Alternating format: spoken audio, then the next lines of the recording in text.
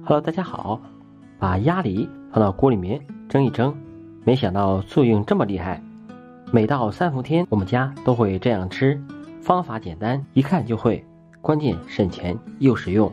今天呢，就把老一辈人留下这个做法分享给大家。下面的视频一起来了解一下吧。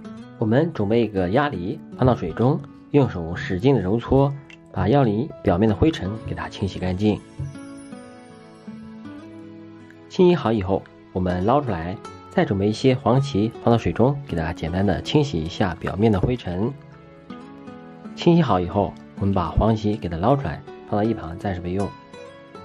清洗好的鸭梨，用菜刀呢，我们给它一分为二，然后把鸭梨给它切成块，块的大小随意，根据自己的刀法来定。切好的鸭梨一块，我们再放入到一个碗中。再把我们清洗干净的黄芪也放入到碗中，然后呢，我们再加入适量的清水，没过它们即可。再把它们放入到蒸锅中，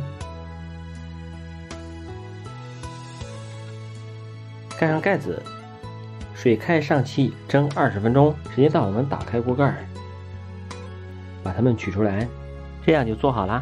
我们先把里面的梨吃掉，再把里面的汤汁喝掉，就这样每天来一碗。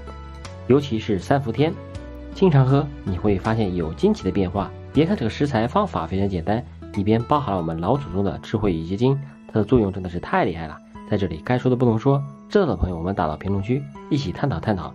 今天老祖宗留下这个方法就分享给大家了，谁用谁知道好处有多么好，赶紧收藏起来，在家试试吧。